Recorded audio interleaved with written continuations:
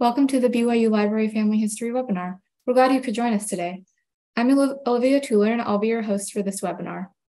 If you have technical difficulties during the webinar, please use the chat box and I can address your concerns. You are welcome to use the chat box during the webinar for comments, insights, and questions.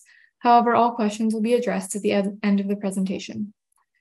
Our next webinar is on August 17th with Maureen Brady. She will be giving a presentation entitled Northwest, researching the Great Lakes states.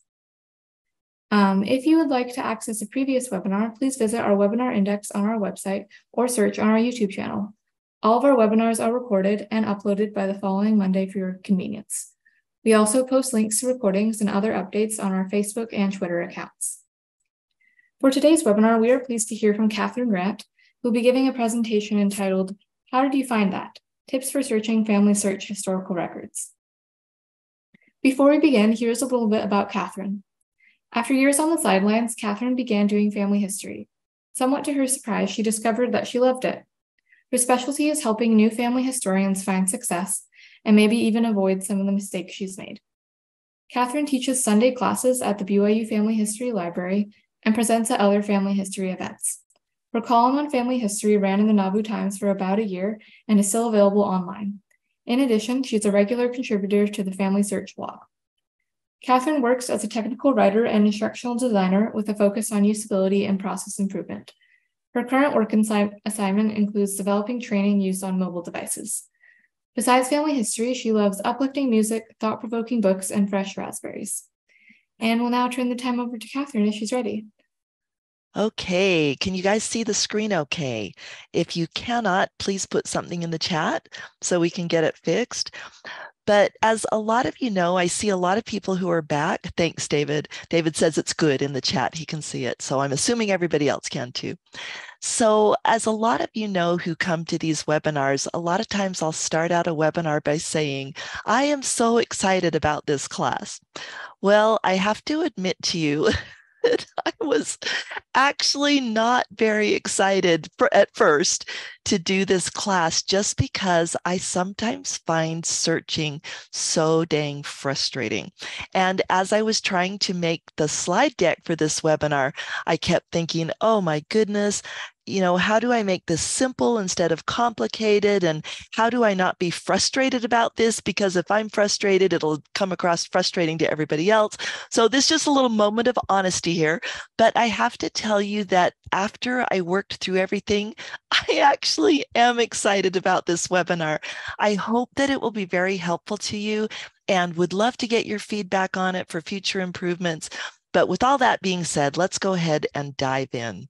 So this webinar will focus specifically on searching family searches historical records, not other websites. But some of the principles that we'll talk about today can definitely be applied to other websites. So Let's start out by highlighting an important truth, and that is that searching for information about our families in trustworthy records really is integral to building our family tree. We can't really build a good tree, at least not beyond our immediate generations, without looking in historical records. And let's be honest, as human beings, there's a part of us that loves to search for things. So we play games about searching, right? We go on scavenger hunts. Some people do geocaching. My sister and her husband love to do that. We can challenge ourselves with escape rooms. That's kind of a current trend. Think of our entertainment. We read books and we watch shows about search adventures. Anything that is searching for a goal or like a mystery, a Sherlock Holmes mystery, whatever. People are always searching for information or for who did the crime or whatever. As human beings, we seem to be wired in a way to enjoy searching. So, if that's the case, then why are we so often intimidated or even frustrated when we search for historical records in the context of doing family history? Well, as I thought, you guys could probably share a lot of reasons. And as I thought about my own experience, I kind of came up with two reasons. See if you can relate to this. Sometimes, to be honest, we just have no clue how to do the search or even where to search. So that kind of black box feeling where we, we feel like we're up against a total unknown is unnerving and we a lot of times don't even know how to break through that that wall if you will of how to even figure out where we're supposed to start the other thing is sometimes we may know what we're looking for, and we may have even had experience in the past of searching certain records. So we know something should be there, like a christening record or a marriage record, a birth registration. We have reason to believe it's there, and yet, despite our best efforts, we cannot find it. And that can be equally challenging. So, the goal of today's webinar is to provide strategies and examples to help with these types of challenges so that we all have more success in doing our searching. So, with that as a backdrop, we've got three things on the agenda today. First, we'll talk about how we can prepare to have an effective search. Then, we'll go over some search basics, including examples. And then finally, we'll talk about some ways to handle results, the search results. Okay, let's dive into our first topic preparing to search.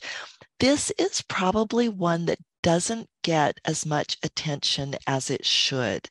So, the first step in doing a good search is actually not to do the search, but to review what you've already got. And almost always it's more than we think we have, right? I will look at stuff, I'll go, oh, I don't have anything. And then I'll start looking in Family Tree or I'll look at my research notes and I'll say, wait a second, I've got a little more here than I realized I did. So it's always a good idea if you're searching in Family Search historical records to see what you've already got in Family Tree about that person or that family, or see what else somebody else may have entered about that family. The next thing, which is very important, is to sanity check it. Does it look reasonably accurate, or do you see some red flags that might need to be addressed before you do the search? And I'm going to give an example in just a second do and the last thing is do you have additional information such as maybe research logs or notes or a friend you can talk to or anything that might give you any extra information or context that you need for doing that search the truth is it's hard to get where you want to go if you don't know where you are. The thing is, so often in searching, we tend to just head off almost as if we didn't it eh, didn't realize maybe how important it is to establish what we've already got before we move on to finding more information. So here's an example that happened to me actually just a few days ago. So I was working on my Lilly line. For those friends who have been in our webinars for a while, you know that I'm always working on my Bescoby line and the Lillys married into the Bescoby line. So I was working on this record of John Lilly and I noticed that he he didn't have any relationships in family tree excuse me uh, let me clarify he had parents and siblings but no spouse and no children. And then i noticed well he's got a death date here and he wasn't really that old when he died so maybe he just didn't marry. So i looked to see if there were any sources. You see right here zero sources so i have no substantiation but I've done a lot of research in the tiny parish of Cranwell in Lincolnshire, and they have very good records available online. So I thought if he really died about 1866 in Cranwell, it should be reasonably simple to find a burial record. Well, a very careful, thorough search for death and burial records found nothing, no supporting sources. In fact, there was there were no John Lillys that might even have been a faint possibility. There was like nothing. Not only that, I started to look, well, maybe he lived past 1866 and someone got confused with the death date or whatever. I could not find this guy after 1841 in the census, no trace of him if he had lived to 1866, you would expect him to be in later censuses like the 1851 or the 1861. There was not a trace of him. then this underscores a point that embarrassingly, embarrassingly I've made before that it always pays to look at the research you've already done. I had this faint memory that I probably had worked on this family quite a while ago. So I went to my Google Drive and guess what I found? There was a timeline grid. For those of you who have been to class before, you know that that's a right a lightweight research log. And here's a link. We can add a link to this to the presentation or on this slide deck. If you open it up, we'll give a link to the slide deck at the end. And if you open it up and come to this slide, this link works. It'll take you to information. Anyway, I found my old timeline grid and discovered that I had reason to believe that he and his family had moved to the United States and that he had married. I even had a possible wife's name. Well, that would explain why I didn't find him dead and buried in Cranwell in 1866. So now I have a better idea of where to search. I won't be up against this brick wall looking for a death record in Cranwell that probably isn't there. So, this is a good example of why it's so important to kind of look at the information you already have, sanity check it, make sure you're on firm footing before you start to search for further information. The next step after you've done your, your basic um, sanity checking and reviewing is to choose a doable goal. So, specific goals tend to be better. For example, look for John Lilly in the US 1870 census. That's a very specific goal. It's going to help me focus my efforts. That's a lot better than something like figure out what happened to John Lilly. Does that make sense? So, the broader the goal is, oftentimes the harder it's going to be to focus specifically and find success.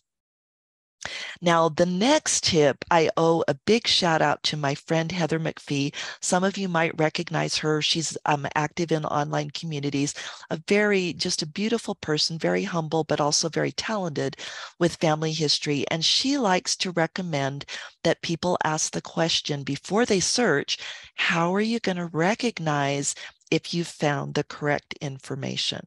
Well, here are some thoughts about that. The way we recognize deceased people is not the same as living people, right?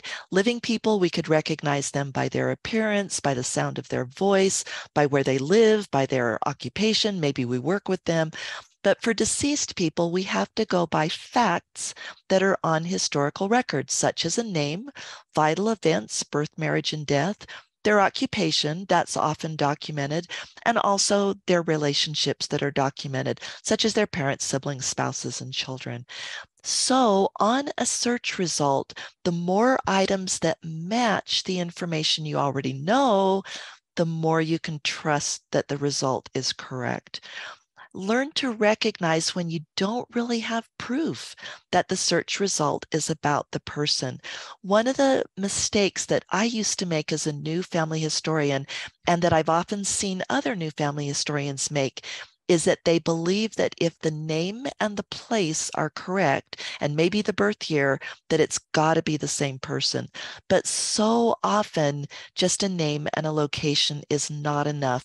We want to get as many items matching as we can to be confident that the source we found is actually about the person we're looking for.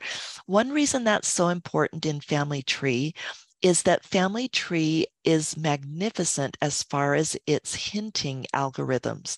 So, you know, over on the right hand side of a person page, oftentimes you'll see hints for records that might be about that person. But those hints depend on accurate information on the person page. And if we put bad information or incorrect information on the person page, then there's a good chance that it's going to bring up incorrect hints. So we want to be really careful to attach correct hints so that we don't kind of mess up or fool the search algorithm into providing more incorrect hints. Because once you attach an incorrect one, it tends to snowball. Now, I'm not talking about being paranoid, but just being reasonably careful, if that makes sense. The next thing that we want to do in preparation is to determine which records are likely to find the information that we're looking for. Now, some of those are no brainers, right? Christening dates are found in christening records. So if you're looking for a christening, look in christening records. Looking for a marriage, look in marriage records. Those are the obvious ones, but there's also some less obvious ones.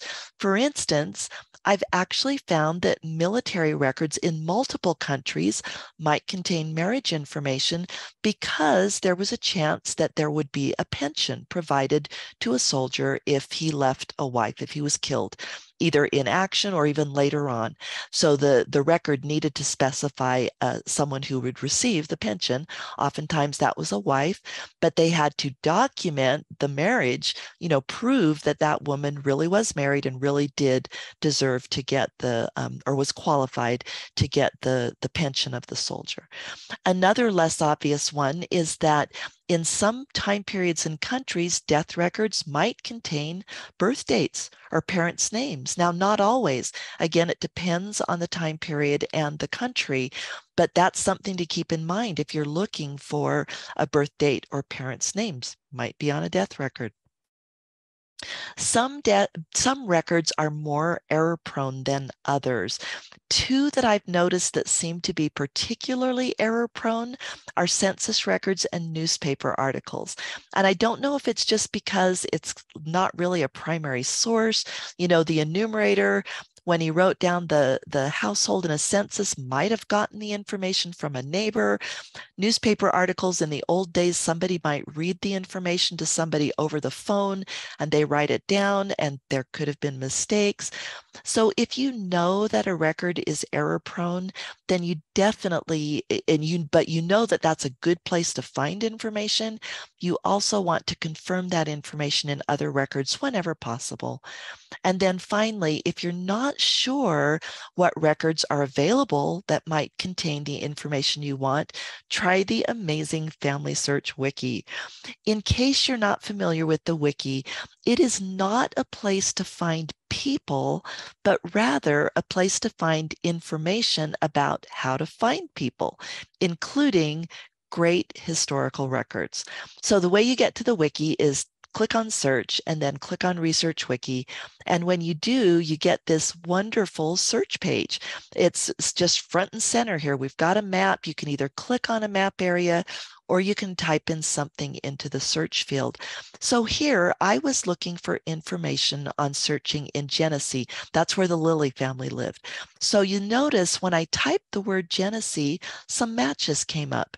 And as it happened, the first one is the one I wanted because I was searching in Genesee County in New York. So I clicked on that and got this amazing page. There was so much on there, I had to cut part of it out because it wouldn't all fit on the slide. But you can try this search yourself and go to the Genesee page or any page you're interested in and just see these great resources that they list, places where you could find out more information about your ancestors. Okay, those are some preparatory steps to take to have a more successful search. Now let's talk about actually doing the search. In Family Search, there are two ways to search Family Search historical records. One is from the top menu where you click search and then you click records and it takes you to this beautiful search page. The other one that we're not, oh, I forgot I had a tip here for those of you who use your who type a lot in your browser address bar you can type familysearch.org slash search to go directly to this search page the other one I wanted to mention, we're not going to go into detail on this today, but it's such a, a great feature that I did want to mention it for, your, for everybody's edification.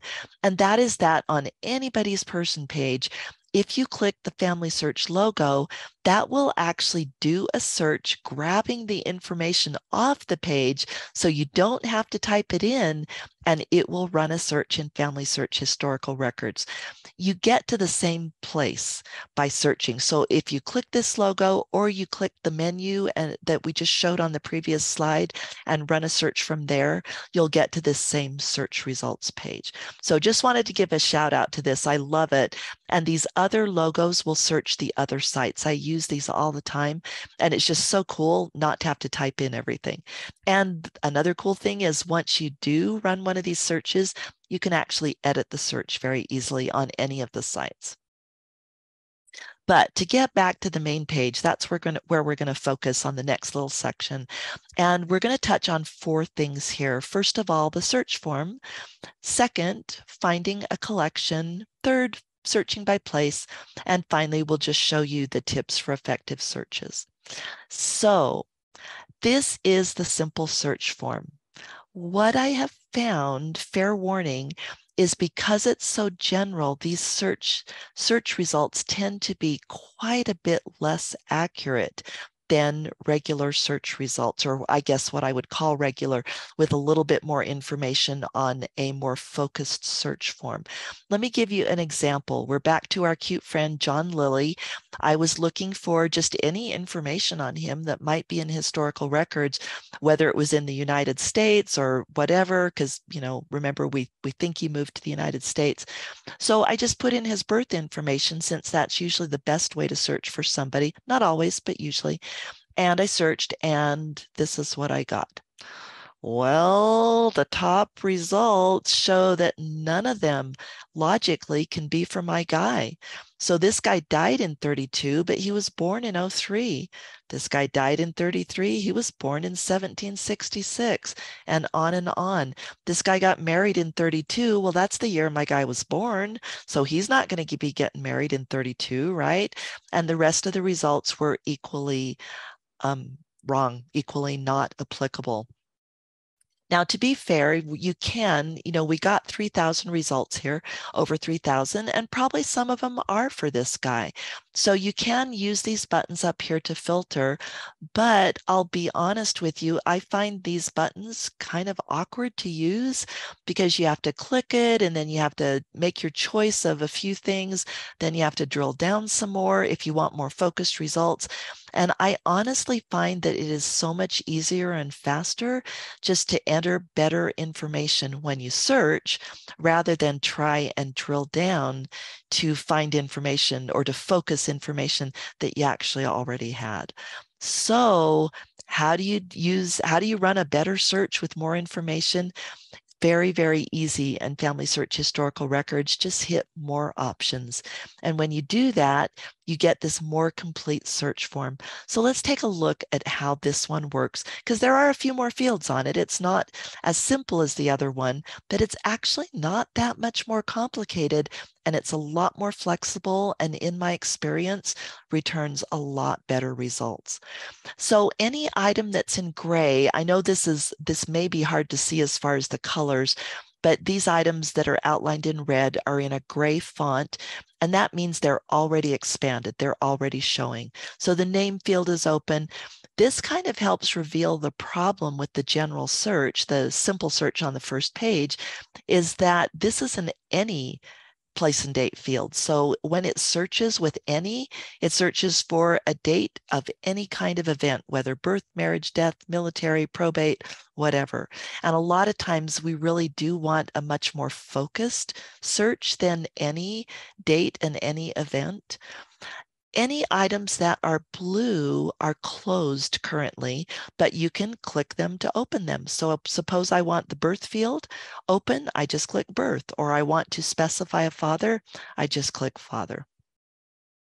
If you see a thing that you don't want, some fields that you don't want, and they're cluttering the form for you, just click the blue X to close it. Pretty simple there it was worth some of these are really obvious right? Uh, birth marriage residence death but some that aren't so obvious i wanted to just explain them a little bit. So if you click to open other person it will let you specify somebody other than the listed family members here who might appear on the record, such as a sibling or possibly a boarder or a servant or a nephew or whatever. That's where you can list somebody that isn't one of these primary family members. Type kind of what you would expect. It's the type of record, such as a birth, death, or military record. Batch number is an interesting one. It pertains to the old extraction program. I know some of you on the, the call today are familiar with that. For those of you who may not be, this is the precursor to the indexing program. Back in the olden days, before there was indexing, there was extraction, but it was basically the same thing, where you would look at historical records and you would write down the information to make it searchable for other people. Well, the batches, the, the names were always grouped in batches, and every batch was assigned an ID. So if you happen to know the batch number, for instance, sometimes it's listed in various other records. You might have it in your notes or something.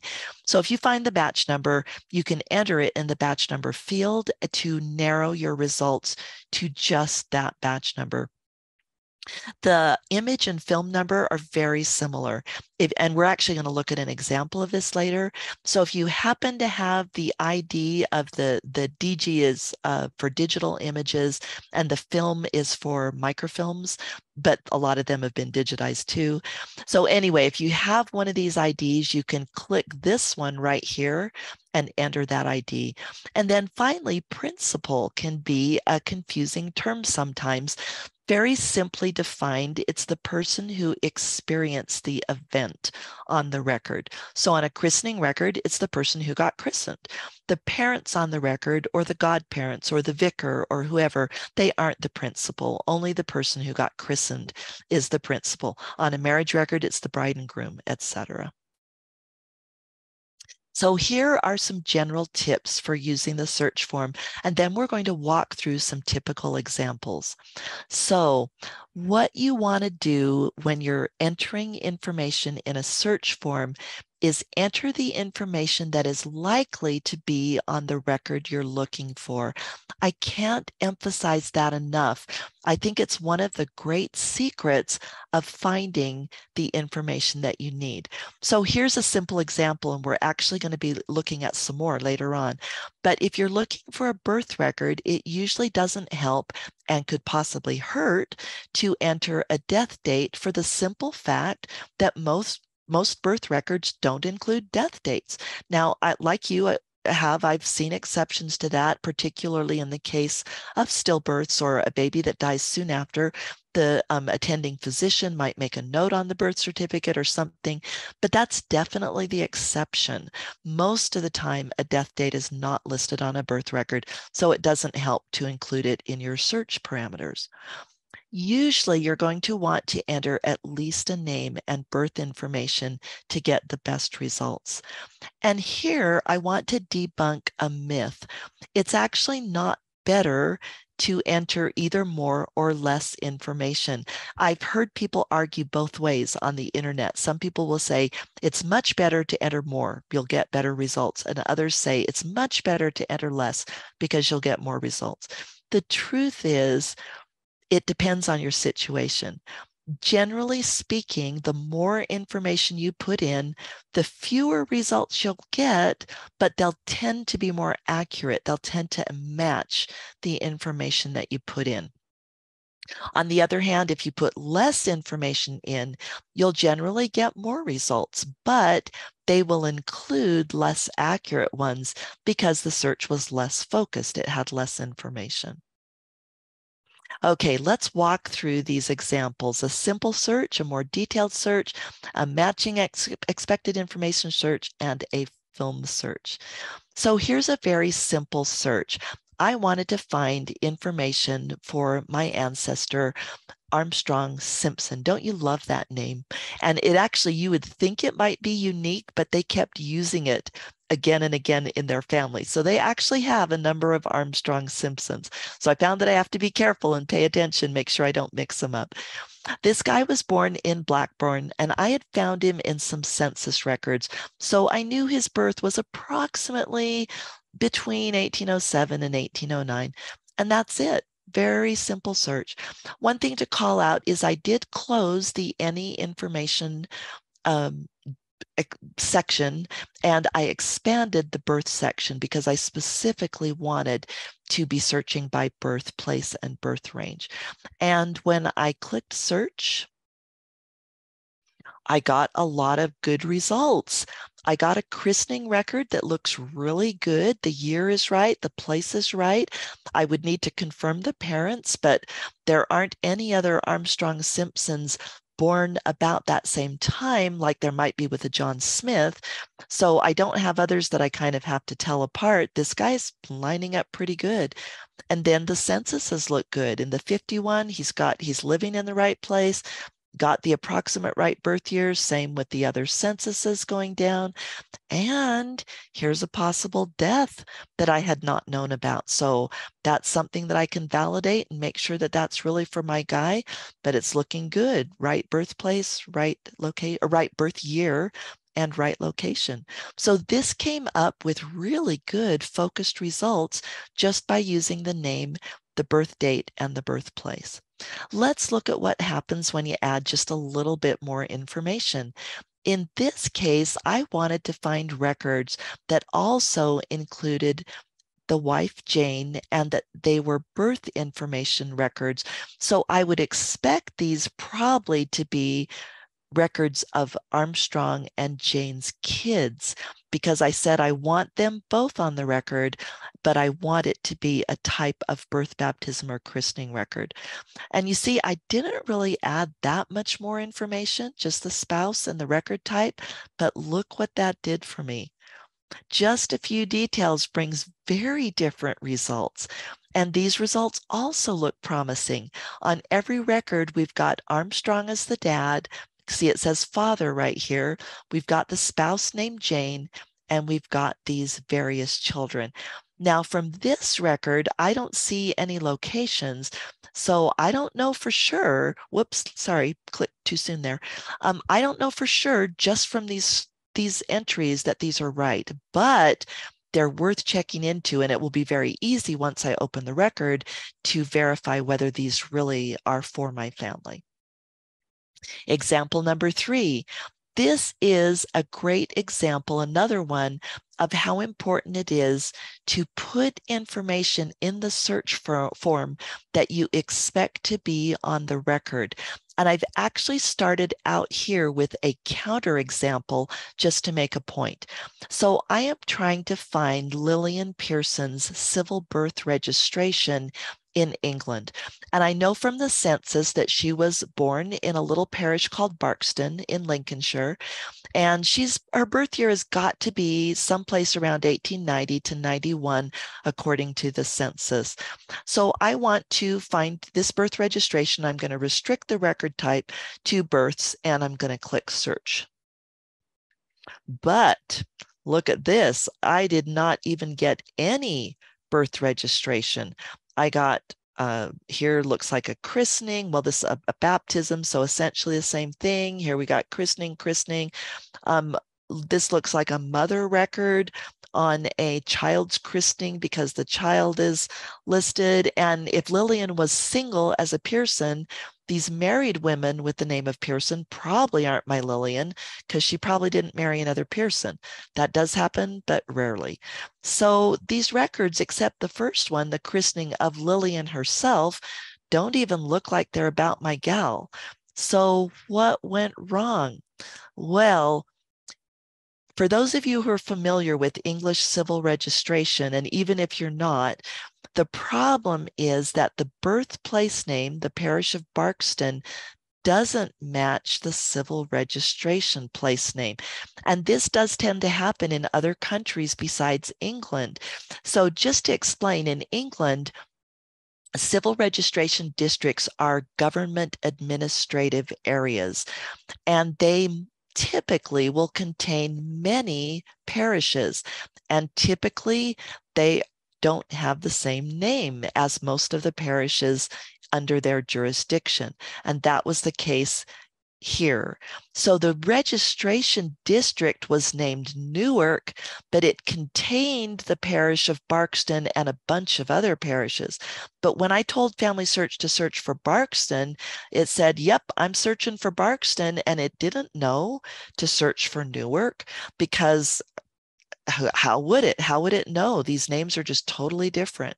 So let's go back now and look at what happens if I choose the civil registration district. So I choose Newark, and when I start typing Newark and start typing Nottingham, then the result comes up and it says civil registration district. And again, this works in other countries besides England. You'll see um, a government registration, or for instance, in Scotland, it's called statutory registration, whatever it's called in the country that you're searching in. You can look for that and then pick the right one. So I picked Newark and clicked search. And wow, so much better. The right result came up at the top. So that just shows how important it is to use the information that you expect to be on the record that you're searching in. Now, you might be asking, well, how did you know that Barkston was in Newark? And that's a really good question. If you Google a registration district for Barkston, you'll get search results that will let you know what the registration district is for Barkston. I haven't tried that with other countries, but I would guess that that would work very well there. What was interesting is when I Googled it, one of the first results was for the Family Search Wiki. So uh, Googling will help you figure out like what is contained within a certain registration district. Another very common example is if a woman died under her married name, you might not find her death record by searching with her maiden name. Now, sometimes maiden names were put on death certificates, but a lot of times they weren't.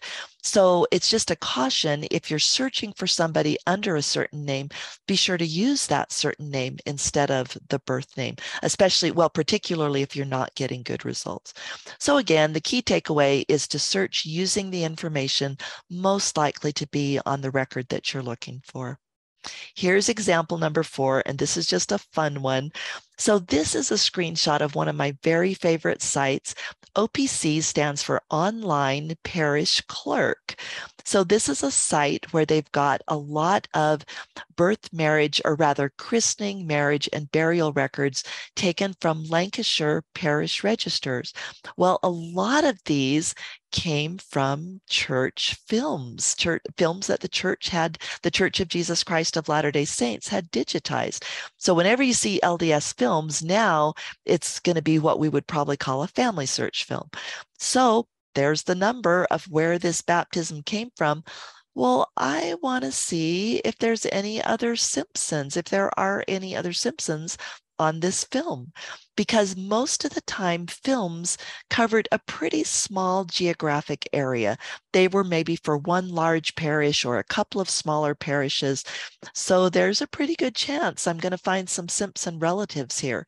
So I put in the last name of Simpson and I put in, I click image group number or film number to open this up. Then I put the film number from the OPC site and I click search. And look what we got. We got a boatload of family members. This isn't even all of them, but they are from the same parish as Armstrong is from. The um, Leyland, I hope I'm saying that right, Leland, Leyland. But they're all these people, especially with that parish being so small, they've got to all be related. So this is an exciting find for me that I can look at these people and kind of try to put these families together that are all related on my Simpson line.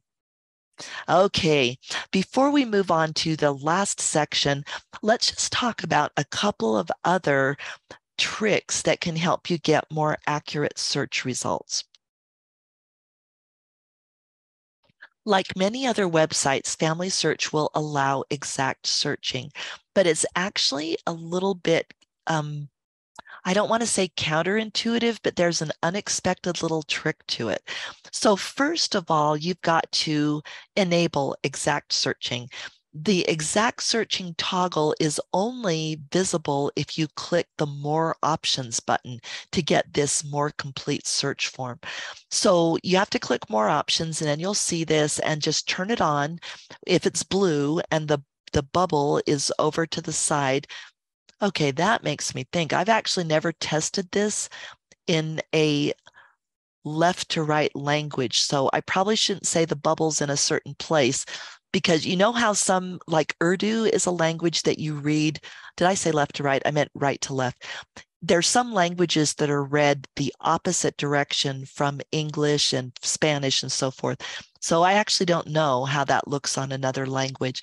But for languages that are read from left to right, the bubble's going to be over here, you, or you want to make sure the bubble is over here to turn on exact search. But that's not all.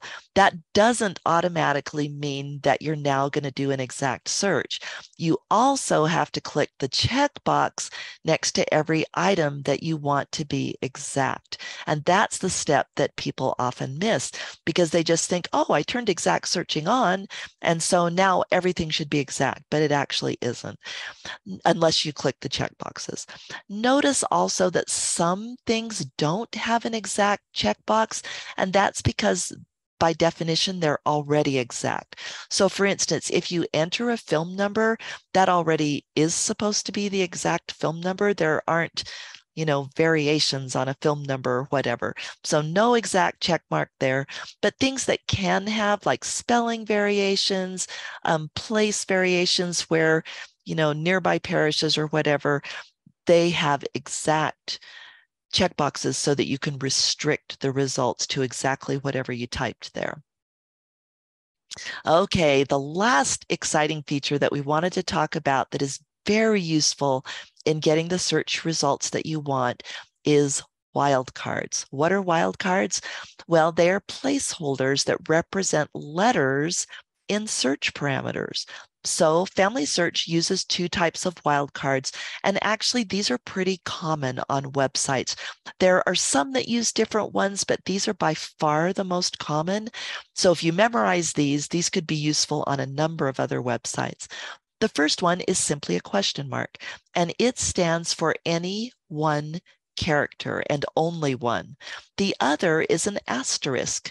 This stands for zero to an infinite number of characters. Well, that might sound like gibberish, so let's take a look at some examples. First of all, I wanted to show what Family Search does when you don't do any wildcards, because Family Search search is very smart. It automatically applies fuzzy matching. In other words, broader matching. It's not just going to strictly by default find these exact spellings, but it's also going to find similar names. So this example up here without any wildcards is going to return Joseph Benton but it's also going to return, for instance, Mark Joseph Benton. That was one of the results where Joseph is a middle name. And it's also going to return similar surnames like Bentley or Bensley. Those were some that showed up in my search results too. So that being said, be, we we can just be grateful that Family Search already does a fuzzy search, but sometimes we want a little more control over the results. So I noticed when I was searching for Joseph Benton, like I said, I got those extra names that I really didn't want in this particular search. I knew Bentley was not really a variation on his name. So I wanted to restrict it, but I noticed in the search results that Benton often had a different second to last character. Sometimes it was an E, sometimes it was an O, sometimes it was an A. It just depended. So I wanted to be exact to B E N T, whatever, N, and nothing else. So I used the question wildcard, but I also by discovered by searching first without exact that when I didn't click exact let me show you what happened. When I didn't have this on, I got some really like far out search results. In some circumstances, we might want those, but in this circumstance, I didn't. I just wanted B E N T, whatever N. So when I turned on the exact searching, then I got exactly what I wanted. Oops, I forgot. I, I thought I had a show of exactly what I wanted. I apologize, I didn't. But when I turned on exact search results, I didn't get these kind of out there search results. I just got exactly what I wanted.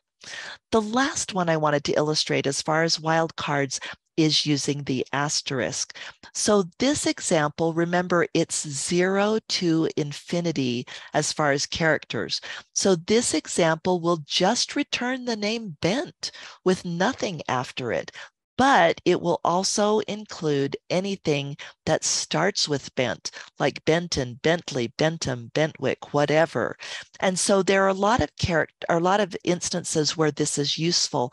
Another time it's useful is in the middle of a name. So you could, I could have done like BE star N, and that would have given me any name that starts with BE with whatever in the middle or nothing in the middle and ends with N. So these wildcards can be very useful in getting exactly the search results that you want. Before we get into the last section, let's just touch, touch very briefly on the other three features available on the home search page. One is find a collection, and this is useful if you know the actual or probable name of a collection. For instance, you want to search for Australia birth registrations. You can also click Browse All Collections and see a complete list. In this case, I wanted to look for Australia, Notice what happened when I started typing the word Australia. It actually gave me a list of matches. And then I could click the match and it would bring me to a screen where I would just be able to search in whatever record collection I had selected. Search by place is a fun and I think underutilized feature on this page it shows you resources for a certain place, a certain country, or a certain area. You can also click Browse Places to actually get a clickable map. But in this case, what I wanted to do is search for resources for the Netherlands. So I typed in Netherlands and it popped up the matching result. So I clicked Netherlands and look what I got. This totally cool page with various resources for the Netherlands, guided research, learning sessions to teach me more, references to just regular websites on the web, and even a list of Netherlands indexed, research, uh, indexed records. So this can be a really cool way to just get a great overview of what's available and how to learn more about a certain area. Last one I wanted to point out is if you click on tips for effective searches, you get taken to this page. At the top, it has tips, and at the bottom, it has various demos and videos that will teach you more about searching effectively. Okay, let's finish up with using the results. When you have searched for something and you click search and you get your results, the search terms that you have entered now appear in a panel on the right hand side. And as we mentioned earlier, these results can be edited. So you can come back in here. Suppose that I said, well, I really don't want to search for a death place in Elba, Genesee. I just want to broaden it to New York. So I can erase Elba, Genesee, Elba, Elba, Genesee, and then click search to repeat the search with that broader area of New York anything in here can be edited, anything can be added. Suppose that I looked on here and I thought, oh, I forgot to do marriage. So then I can click marriage, I can add the marriage information. Uh, that's theoretically that I have it already. And then I can click search and that will bring me up. That, that will then include more marriage records in the search results. So it's really nice that once you've got this search, once you've run your initial search, you can tweak it to get just the results that you want. You can also, as we mentioned earlier, use these buttons at the top to filter your results. I find the collection filter to be the most helpful. So I'm actually not going to demo the other little options because they're pretty straightforward. But the collection panel might be considered a little more challenging to use, but I find it very powerful. So I think it's worth taking a look at. When you click collection, then the collection panel opens on the right hand side. What it shows is a list of all records that are in these search results.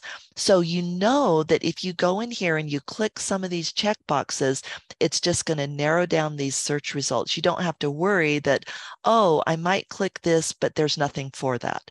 No, it's it. This is all stuff that is in these, in this case, these over 1500 search results what is shown when you first open the collection panel is just the first few in any given type. So I see here uh, the first four in birth, marriage, and death.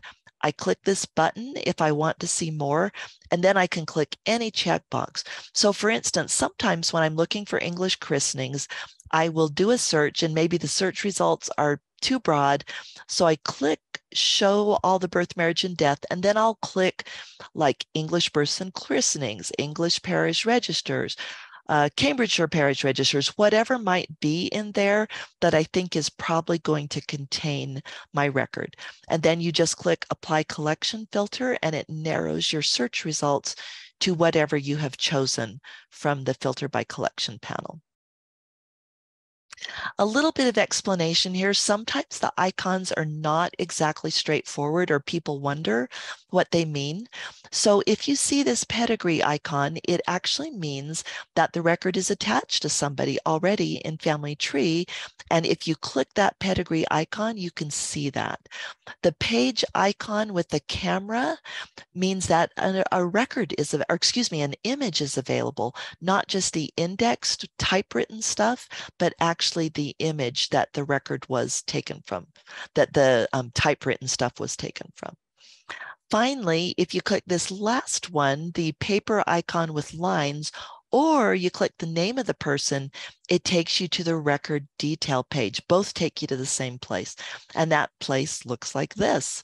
So I wanted to point out four cool things on this page. The first one is one that people always ask about. If I see a mistake in this information, so if it was indexed incorrectly, can I fix it? Well, Family Search is, and a lot of you know that on Ancestry you can, and Family Search is rolling out a similar capability.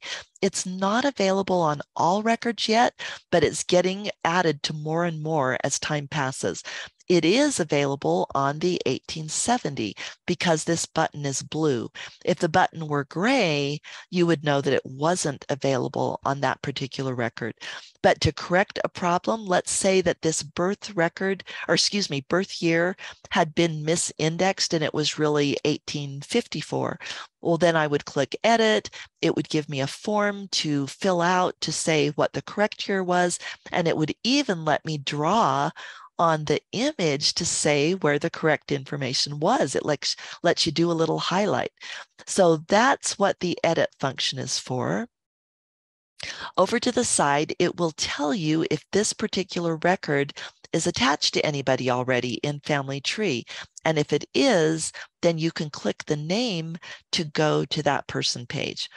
Below that, or excuse me, yeah, the, click this to go Okay, let me start again. I said that a little bit mixed up. So if you click the name, you can go to the person page. If you click this icon with the paper clip, it actually opens up this source in the source linker. The source linker is the place where the source was originally attached. So it's that screen where you can see like the information in the source and the information in family trees side by side. So if you click this, it opens that up and you can for instance, if necessary, detach the source or if it's the wrong source, or you can just review what has already been done, like what other family members it's attached to, that type of thing. The last thing is that if Family Search found any similar records, they will be listed below here and they may or may not be attached. In this case, both of them say they are already attached to the guy, but I've seen records listed where they weren't attached. And so that's a great opportunity to review those similar records and see if they need to be attached as a source. So the last thing that I wanted to mention is that Family Search has a really cool capability where you can download search results and then you can download them to a spreadsheet and you can sort them and um, analyze them and just so many capabilities that way once you've got them in a spreadsheet if you enjoy that type of thing which i know some of us do and if you don't that's totally fine too. Some people go why would i want to do that? So this may not be useful if you're one of those people but if you're one of the people who says ooh yeah i'd really like to get that into a spreadsheet so i can you know sort the columns and organize the information it's beyond the scope of this webinar to go into that detail, but uh, recently in a Sunday class at the BYU Family History Library, we had a webinar on that topic that actually walks through step by step how to download the information and how to organize it. So if you're interested, uh, this link right here is active. And this is the name of the webinar. You can go to the BYU Family History Library YouTube channel and just search for case study using Family Search historical records, and it should come right up. So this brings us to the end of our class today. Thank you so much for coming. By way of summary, we talked about how to get the best search results, prepare before you search then the search form provides many options to help you get the results that you want. Once you have the results, you can refine them, you can see more detail, and you can download those, those results and process them further. So thank you so much, everybody, for coming. And I am going to go ahead and actually, I promised I would put the link to this presentation in the chat. So let me just grab that really quickly and put it in. And you know what I just realized? I don't know if I shared this. Let me make sure that it is going to be visible to everybody. Nope, I didn't. Okay, anyone with the link? And now when you click that link, you should be able to get to this slide deck. So that is it for our class today. Olivia, are there any questions? It looks like at around 5:30, Margaret asks, if put both maiden and married last name in the last name field, will it look for either name or for females? Oh, that is such a good question. I should have added that to the presentation. Let me go back here. The way that you would want to do that, oh, it actually shows on this screen is you, you don't want to put them put them both in the same field because that would make the search engine look for that combined name. What you'd want to do is click alternate name, and that lets you specify a different name for the person. And then Family Search will do both. So suppose this was Charlotte Lilly, but suppose her married name was Charlotte Bescoby. Then I could click alternate name and in addition to Charlotte Lilly, then I could put Charlotte Bescoby and it would search for both of those surnames. Fantastic question. Thanks for asking. Oh, and I see someone said, um, can we have the link to the parish, the uh, presentation on parish registers? Yeah, I can grab that really quickly. Let's get over to that page. Whoops, went too far. And I will right click. Oh, I didn't mean to do that. I tried to right click and grab the link but it didn't work. It actually brought up the video. So I'll just grab it that way. And now I will put this in the chat. So this is um, Parish Register webinar. There we go. Okay, anything else? Oh, David asks a good question. Fuzzy logic, search, Soundex, what are the relationships and what are the current algorithms? David, it's so interesting that you asked that because I just, like probably a month ago, so pretty recently, learned from a, a family search engineer that they are, well, this won't come as a surprise. They're constantly refining these algorithms. So they're constantly shifting. But at this point in time, they consider something upwards of like a hundred different data points when they're searching. So these algorithms are extremely refined and getting better all the time. The old sound, so when I said fuzzy search, that was actually my name for whatever Family Search's current algorithm is and it's and again it's changing all the time improving all the time. Soundex for those of you who may not be familiar with it is an old system where phonemes or or or sounds so it wasn't letter to letter but it could be sounds like th or it could be a single letter like k or whatever but as I understand it, sounds were assigned numerical values. And so any name that ended up with the same numerical value was considered to be a close match. Soundex was not perfect. Sometimes you got really off the wall matches. Like on my Bescoby line, bishop is considered a Soundex match for Bescoby because the numeric code for Bescoby and the numeric code for bishop turned out to be the same, the numeric Soundex code. So as far as I know, a lot of sites don't use Soundex anymore, although there are a few that do. And so the there you just won't get as refined results using Soundex, but it's still still useful. So let's see. I see Pat and Kimberly said, could you add the link for the timeline grid? Absolutely. That is a great question too. Let me type that in here because this is an example of where it comes up because it comes up in my browser address bar because I go there so often. So here is the site, and I'm throwing the link in the chat right now. Let's see. Oh, I typed timeline grind. That's what I get for typing and talking at the same time. Timeline grid link. There we go. So Olivia, have I, I haven't looked at everything in the chat. Have I missed anything that we should address or were there any Q and A's? I don't think so. I think we got all of them. Okay, great. Then I will, I think we're done, Olivia, and I'll turn the time back over to you.